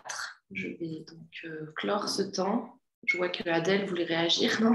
Non, non. C'est parce que j'ai quelqu'un qui rentre dans mon bureau, donc je lui ai dit chute, je coupe le micro. Ah, ok. Est-ce que tu pourras nous donner le lien pour les chaussons? Ah, elle est, elle est plus connectée. Alors, euh, du coup, ben, je propose de conclure euh, par un petit, euh, un petit arbre, l'arbre de- d'Ostende, je crois qu'il s'appelle, ou l'arbre de Lison. Euh, vous voyez les petits bonhommes euh, qui grimpent sur l'arbre, qui sont à côté de cet arbre. Et l'idée, c'est de vous euh, positionner, nous dire aujourd'hui, maintenant, là, à l'instant présent, comment vous vous sentez par rapport à la transition touristique suite à, à- nos échanges d'aujourd'hui et de la semaine dernière. Donc, vous pouvez indiquer le petit bonhomme que vous incarnez, euh, qui vous incarne le mieux dans l'onglet euh, Discussion. Alors, 12-13. 12-13, deux petits, ils sont sur la gauche là, chacun sur une branche et ils se parlent. Est-ce qu'il y en a d'autres qui veulent euh, le 12 également? C'est bien. Le 19, celui qui se fait aider par le 22. À, à- quoi courait il y, a, il y a un nom à chaque euh, bonhomme ou pas? Eh, eh ben non, il y a des numéros. Donc, D'accord. le numéro qui vous, euh, pour euh, le bonhomme qui vous, qui vous ressemble le plus. Euh, Je vais essayer de ne pas en, pas- en passer. Le 26, je n'ai pas vu le 26. Je ne vois pas où il est. Ah oui, il porte, euh, il porte une planche.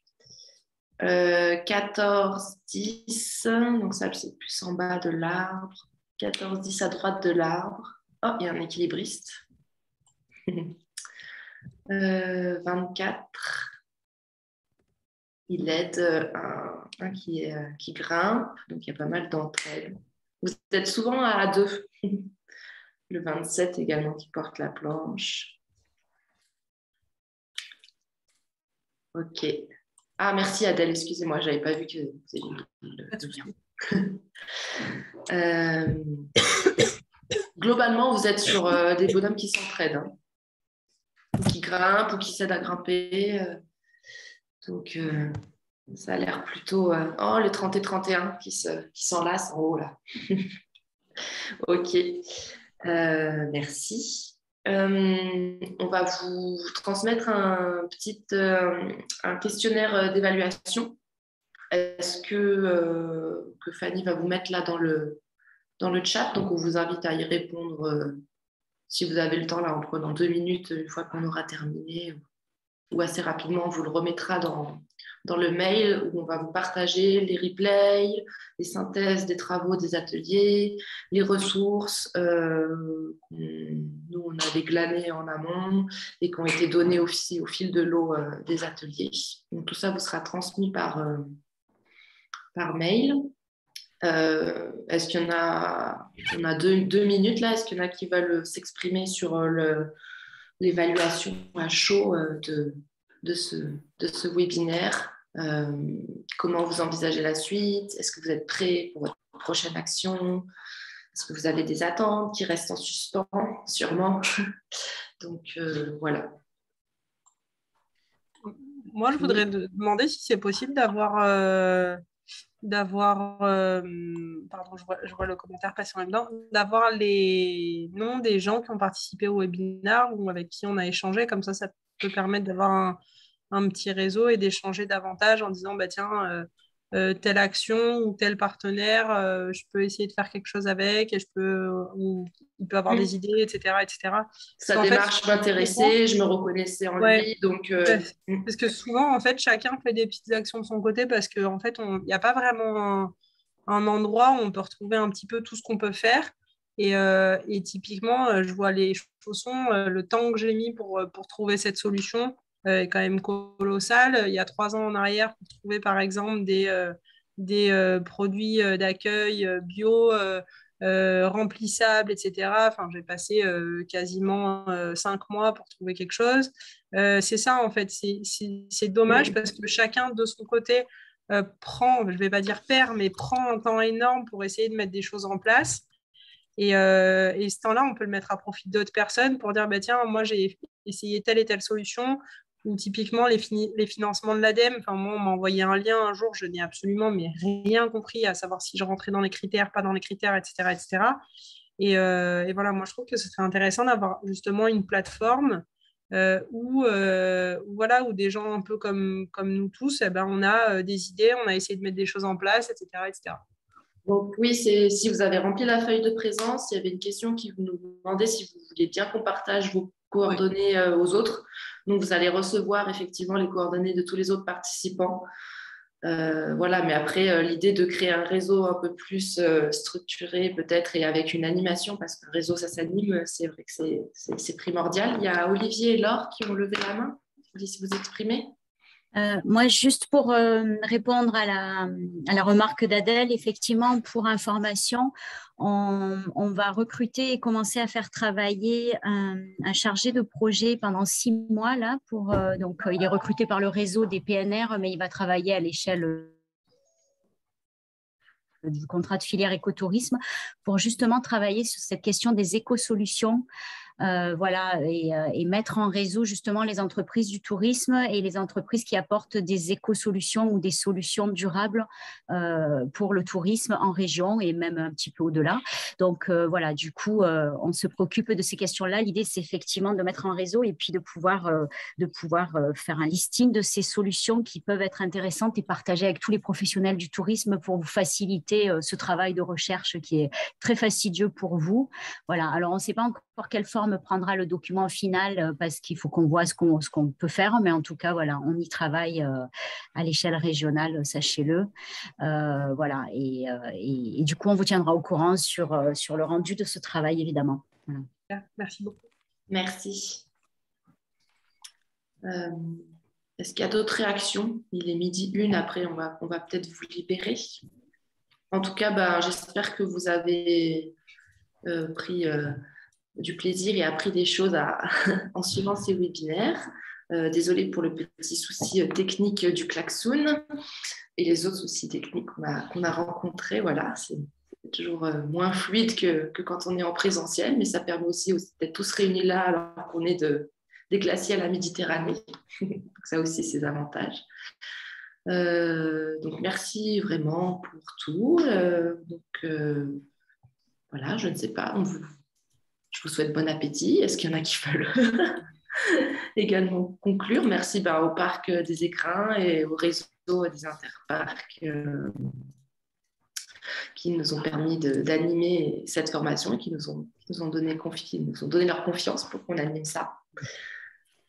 Et puis, euh, et puis oui, je pense qu'il y aura d'autres webinaires. Hein, Olivier qui attend une suite.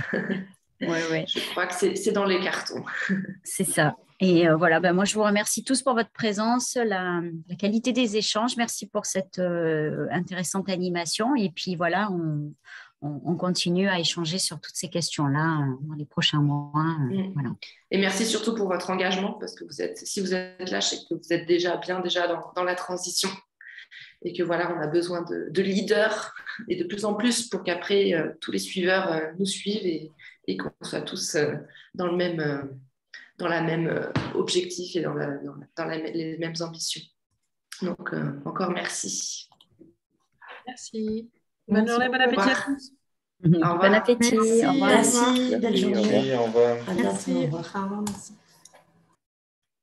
Merci. Au revoir.